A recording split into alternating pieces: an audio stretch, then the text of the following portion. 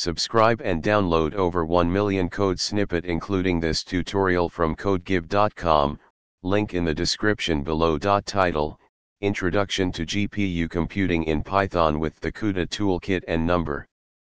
Graphics Processing Units, GPUs, are powerful hardware accelerators that can significantly speed up certain computations, especially those involving parallel processing.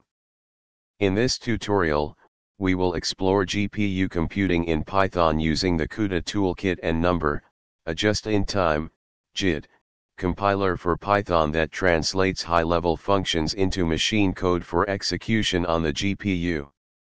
Before getting started, make sure you have the following installed. Let's start with a simple example of a function that adds two arrays element-wise. We'll then use Numba to accelerate this function for GPU execution. In this example, add underscore CPU is a regular CPU function, while add underscore GPU is a GPU accelerated function. The atjit, target equals CUDA, decorator instructs Numba to compile the function for GPU execution. When working with GPUs, it's essential to manage memory efficiently. Numba provides CUDA to underscore device for transferring data to the GPU and copy underscore to underscore host for retrieving results. In this tutorial, we introduced GPU computing in Python using the CUDA toolkit and Numba.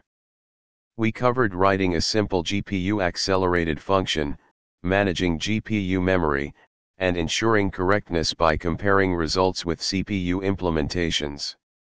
Explore more complex algorithms and parallelizable tasks to fully leverage the power of GPU computing in your Python applications. Numba's flexibility and simplicity make it a valuable tool for harnessing the computational capabilities of GPUs. ChatGPT